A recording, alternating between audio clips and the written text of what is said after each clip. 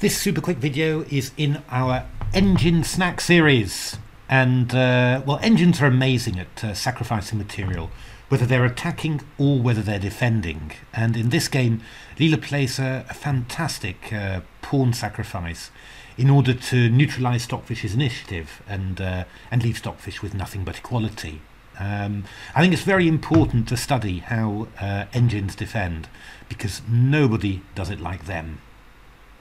So let's have a look at this position. So, I mean, one of the, the difficult skills in, in practical chess is uh, is is judging uh, proportionality. Um, by that I mean knowing whether the course of action you're taking properly fits the needs of the position. Um, I mean, I'm frequently amazed at the ease with which um, engines uh, sacrifice material when ahead. You know, often these beautiful positional exchange sacrifices after which uh, they assess the position as plus three. And um, well, I look at a lot of examples like that in uh, in my new book, The Silicon Road to Chess Improvement. Um, I mean, my struggle with such plays is not really the sacrifice itself, um, but it's more um, my uncertainty as to whether um, you know whether I'm overdoing things a little bit. You know, would a, a simple, sober continuation be better than sacrificing material like that? You know, less is more, as the uh, the English often say. And um, similarly, in defence, uh, Stockfish and Leela particularly, um, they're extremely willing to give up material um, in um, in worse positions. And uh, you know, once again, the challenge is um, deciding whether you're overreacting. You know, is my position that bad? Do I really need to do that? Um, and there's no easy answer to it. You know, um, you know, particularly in defence, giving back material. It's uh, related to the skill of, of judging the long-term course of the game.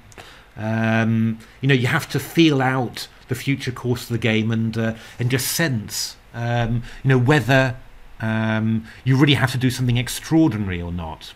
And um, the way I try to do it is uh, I often just run sample lines through my head. You know, this is not best play, but just plausible natural play, and, and just try and work out a little bit. You know, does uh, do I have the feeling that um, that I can survive just by playing normally, or should I really be trying to do something uh, something extra?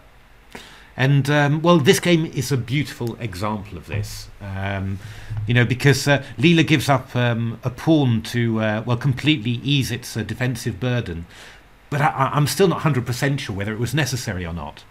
So Leela played this move h5 in this position. And uh, Chess24 did a review of the, the season 17 super final where this is taken from. Um, uh, Stockfish was white, Leela was black, and uh, well, Giri, Fressinet, and Peter Heine Nielsen, they all uh, express their uh, amazement at this move. Um, I mean, White has sacrificed a pawn for uh, some general pressure against the black position. Um, you know, it's hard to to point to a specific threat, but certainly the pressure of the rook on h7 and the passivity of the black rook on h8 is definitely part of White's compensation. So h5 just turns that all on its head. I mean, if I play bishop h5, then suddenly um, it's uh, well, White's got the White's under pressure on the h file because the bishop on h5 is pinned to the rook on h1, and after Stockfish's um, rook takes h5, takes takes queen e7, knight b3 c6, followed by bishop d7 and castles. Leela had just neutralised any hint of a white initiative, and uh, just had a you know a perfectly even position. So I mean, it's a it's a beautiful, clean, equalising idea. It's just a little part of me, you know, sort of curls its lip and stamps its feet and says, you know, I was a pawn up. But um, yeah, I mean, I think a you know a very fine defensive idea and um, a really good example of how um, engines like Stockfish and Leela defend.